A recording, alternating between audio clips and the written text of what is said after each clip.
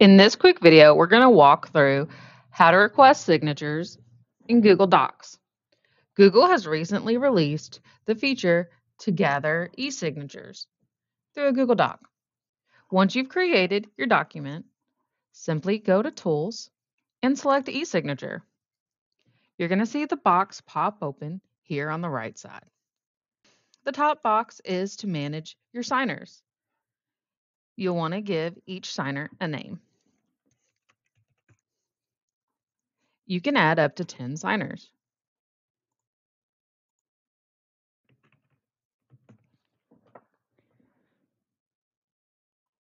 If you decide that you don't need one of the signers, simply hit the trash next to the name.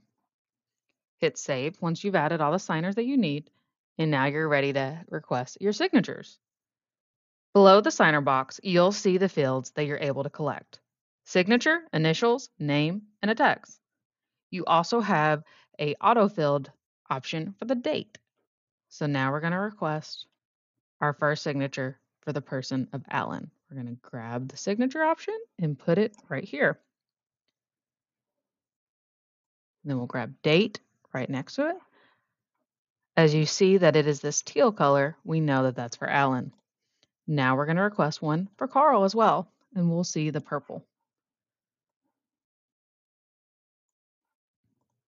Now for Nikki, we only need initials. So we're going to grab initials, and then we're going to put that right here. So now we have a signature option for Alan, a signature option for Carl, along with the date, and Nikki only needs to initial. And we'll add a name field here as well. If you make a mistake and you no longer need one of the boxes or fields, you simply can click it and then hit delete after right clicking. And you can move these boxes at any point in time before you request a signature. You can place signatures throughout the page. So now Nikki will need to sign under this paragraph here.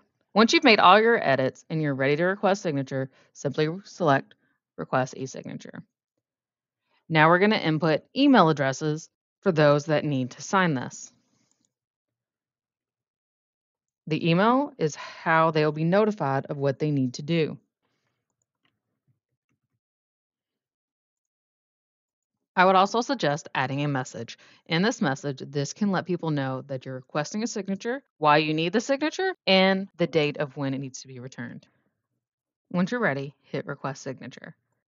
This will create a PDF in your Google Drive and send an email to anyone that needs to sign this. If you want to view the PDF, you can click on it here to view it in your Drive. So we can now see all the boxes where they need to sign and that it is pending a signature. Now let's take a look at the email they receive. Once the email request comes through, it will look something like this, stating who needs to sign and what's going on. We're going to select open here, and then we're going to be redirected back to our Google Drive.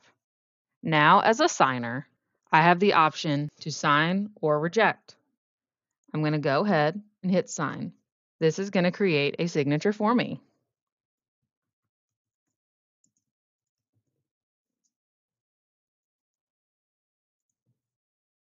As I type my name, we now see the signature. We're going to hit adopt and sign, and now there's my signature. As I scroll down here, we can see the initial field, and that is now there. Once I've made all my adjustments and sign where I needed to sign, I can hit Mark Complete. You must select this box and agree to terms of service before submitting the signature. Now that we've signed, we're going to get a copy of this and we can again see this in our drive. We're going to close. Now let's head back to what that looks like. Now, as the person that created the document, we're going to head back to my drive to take a look at it. Now we can see that I still have some signatures pending, but one person has signed and initialed. Whenever I'm ready and I've collected all of my signatures, I can share this with my team or move it to a drive. This is a great way to collect signatures and then move it to a shared drive.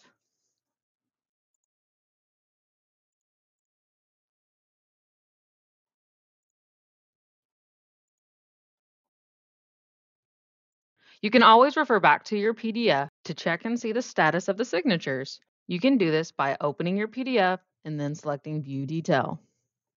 We can now see that one person has signed and we are waiting on two other signatures. We can also see when they signed. If you decide you no longer need the signature, you can hit Cancel Request. We can see that these two people did not respond and that the e-signature was canceled. When the e-signature request is canceled, anyone that was on the document will also get an email stating that their signature is no longer needed. Thank you for watching this quick video on how to collect e-signatures. You can find this and other videos on our digital learning channel by going to JCPS Quick Links and selecting Digital Learning Channel.